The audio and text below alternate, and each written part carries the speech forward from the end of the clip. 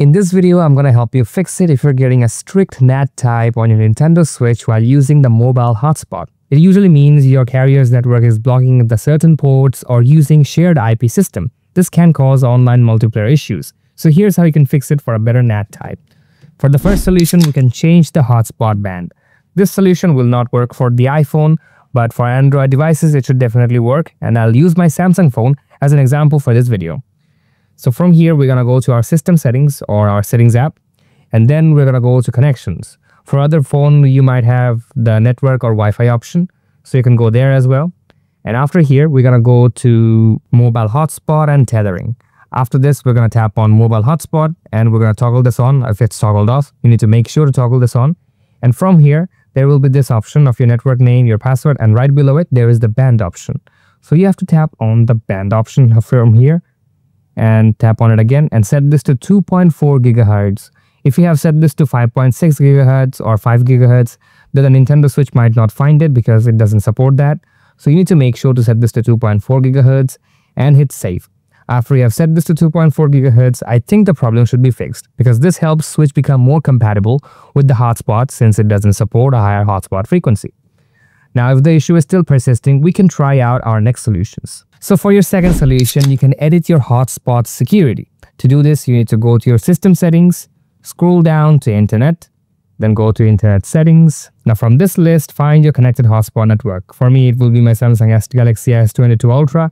It could be your iPhone or something similar. So simply select this and try to connect to it. So after you're connected to the network, open this up again and we're going to go to change settings. So in the change settings menu, we're going to go down to security option, open this up. Here you have to select WPA2PSK.AES.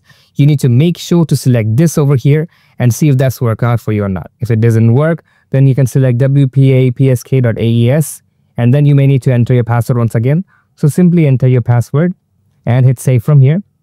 After saving it, see if that fixes the problem or not. If that doesn't work out, even after saving it, you can just come back here and change the security to something else. You can use WEP shared, WEP open, or again WPA2PSK, or enter your password again, then hit save.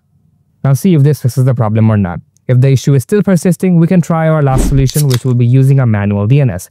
So while you're still here, you can go to your change settings menu again, scroll down, and on your hotspot, you will find the DNS setting option. Select the DNS setting and set this to manual. After this, you'll find something like this. This is your DNS menu for the primary DNS and the secondary DNS. For the primary DNS, we're going to set this to 8.8.8.8. After that, we're going to hit OK. And for the secondary DNS, we're going to enter 8.8.4.4. After entering the DNS settings, we're going to hit OK and we're going to hit save. After the changes have been saved, see if this fixes the problem or not. Changing the DNS can really fix the problem and hopefully after this, I think your issue will be gone and you'll be able to connect with your Wi-Fi with the proper NAT type as long as your smartphone's hotspot allows you to have it. So that's basically it. That's how you fix the NAT typer on your Nintendo Switch with some easy fixes. If you found this tutorial helpful, then don't forget to give it a like and subscribe to the channel for future fixes. Thanks a lot for watching.